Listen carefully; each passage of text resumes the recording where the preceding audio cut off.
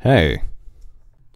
So earlier, I kind of came upon a, an interesting thought. What on earth am I going to leave behind? And what, why am I alive? And I came, I came across some really interesting questions and uh, really interesting answers. Because I realized that people have power. Everyone has power. Especially just look at the media as a, as a profound example. It's a prime example that um, I like to use because I am going to uh, I'm going into mass comm. So I look at the media and I think about what kind of power it has. And literally, what the media is is just a one sided conversation. And it's reaching out to millions of people, millions, and just talking to them. And when you talk to them, it is a one sided conversation. You get to talk, they get to listen and what you say instills a certain thought upon these people. A thought that they wouldn't have had on their own. And you get to influence them. Now, one person, one person by himself is so utterly complex, is so utterly sophisticated that one human being has more neurons in their brain than there are stars in the observable universe so far. So, one human one human person is monumental is huge is complex and insane. 10 people is a group of intellectuals that could change the world if they all got together in a building.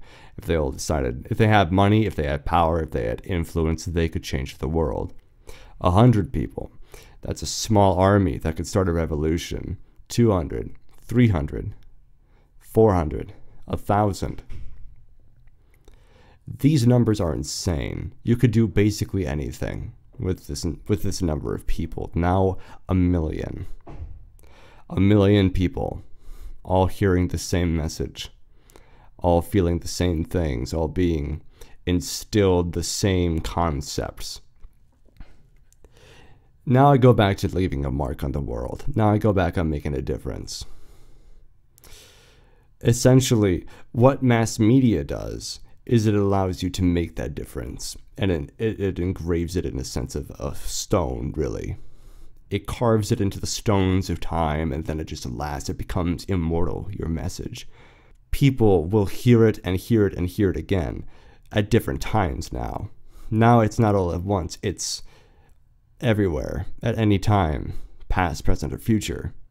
As to one uh, in a relative to the recording it's all possible now. Now, what you say, what you do, how you impact people, the eyes you choose to open, the eyes you choose to close, the hearts you open, the hearts you break. It all depends on what you say, on what you do.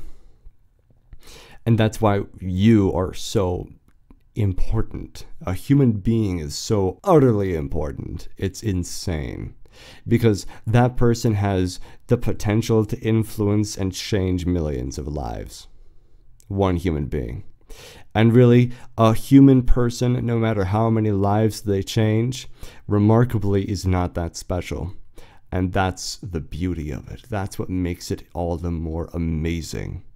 Is the fact that this potential, this influence, is completely normal. The fact that every one of us has that same potential. The fact that that isn't out of the ordinary. The fact that that is normal. That's possible for everyone. That speaks great hope. That speaks great hope for everyone because that shows that we all have the same capacity to do the same things if we are given the proper materials and resources to reach out to that many people. But even if we can't reach millions, we can reach dozens. And like I said, the complexity of one human person is absolutely, that is just by itself enormous. That's insane. And you get to reach dozens. Now, how will you impact them? Will you open their hearts? Will you break them? Will you gain their trust or will you make it so that they'll never trust again? And the, the interesting thing in life is that you can choose to show kindness or, or anger. You can choose to show love or wrath. And and it impacts the world. It impacts the way people see you, the way you see people, how you behave. It all alters a bigger future. There's something I've discovered in college. In college life, I've figured out that I need to have work ethic. You know? I can't sit down and do nothing. I can't sit down and let this pile up over my head because this won't let me. I have to always be one or two steps ahead of the game so I can keep going on time. So I don't have to worry about it. And people say to me, Ely, how do you how do you do this? How are you so far ahead of the game? What do you do? And I say I, I'm I'm dedicated, but I'm also scared. I'm scared of falling behind. Now my motivator is fear. That's not a good thing. Your motivator should be passion. Your motivator should be dedication to your task, not fear. You shouldn't be afraid to fall behind. You should know that you shouldn't fall behind and you should have that everlasting drive to push you forward, not to be afraid of falling behind. Does that make sense? You got to move forward because you're dedicated to your task, not because you're scared you'll stumble back. You know what I mean? and, and bringing change. How are you going to impact people? How are you going to change their lives if you don't have work ethic? How are you going to open their hearts if you're not going to do anything? You can have as many altruistic, as many kind and, and loving thoughts as you can. But if you don't do anything, if you don't have work ethic, those kind thoughts, those great things become meaningless. They lose their potential because you aren't doing anything with them. Open your minds and do something with those thoughts. Do something with them.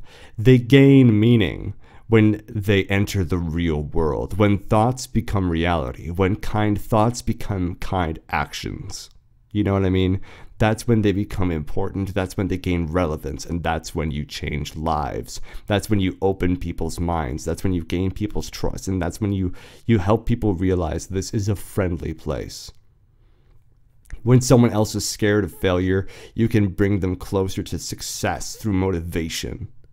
If someone is scared of stumbling back, you can push them forward and say, don't, don't quit now. Don't quit. If somebody's scared out of their lives, that they're going to be hurt by somebody in the middle of the night, you can bring them home.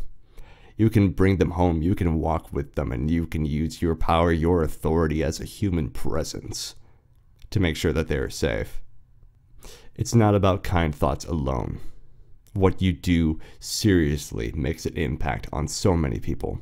You're changing lives every second you breathe. Every second you exist, you are changing lives. This world would not be the same without you, in a sense. Literally, I look at it as a, um, as a script in a code. If you weren't there to interact with this person, this person's day would have been entirely different.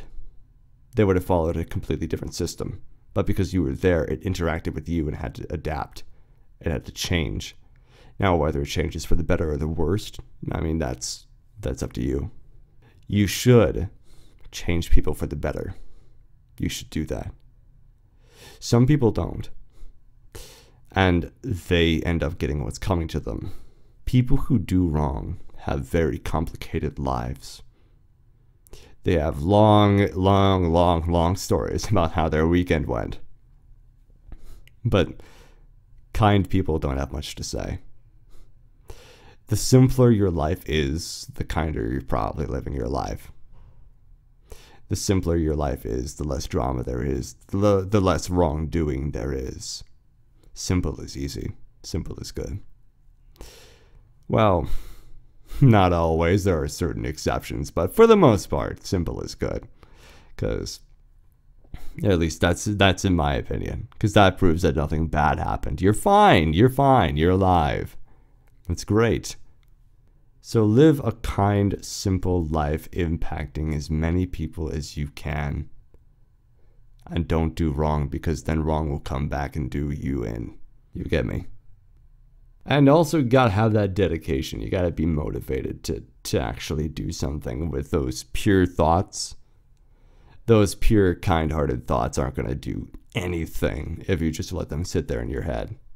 Do something with the kindness that dwells within you. Don't let it sit there. Don't let those kind thoughts sit in your head collecting dust. Reach out, bring them out. And sometimes it's just a matter of being lazy. Don't be lazy. Get out there. Come on. Come on, you can do it. Come on, you got this. Yeah, I know it's hard sometimes. It's hard for everybody sometimes. Sometimes it's just one of those days. It's a Sunday. You don't want to get out of bed. You don't want to do anything. It hurts to move. Your back, your hip. It hurts. Ugh. I get it. I feel it. But try. Try. Because at least, if you at least try, if you take the action of trying, you will feel better than not having tried at all. Because when you try, when you put in that effort to do something good, you're just helping yourself. You won't regret having tried. My biggest regrets are when I did nothing, when I should have done something. So take action. All right. Like I said, like work ethic, how are you gonna how are you gonna impact people's lives if you don't have that work ethic? How are you gonna change people's lives if you don't do anything? You know? Try. Just try. Take it from me, I believe in you. I believe in you. You can do it. I, well, that's about it. Those are just some thoughts I wanted to reflect on, so, uh, yeah. Anyways, I'll see you later, alright? Okay. I got a launch to do. Gotta take action. Hee hee. Alright, bye.